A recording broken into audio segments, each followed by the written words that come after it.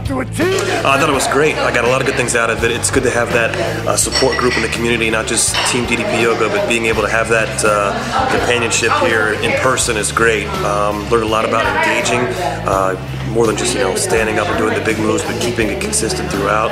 Hands down, I think it was one of the best seminars I've ever been to because it covered all areas. The workout is awesome. I can already see a change in my body in three weeks. The team around uh, Dallas, they're all such great people. It, it really was such an awesome experience. I'm going to do it again. I loved it. I loved it. Outstanding. Much better than I thought it ever could be.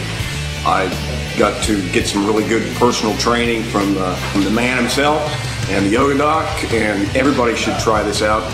You, I'm telling you, it'll take your workout to a whole new level. The workshop was fantastic. Dallas was great, encouraging, and I'm just going to keep moving forward because it's my world.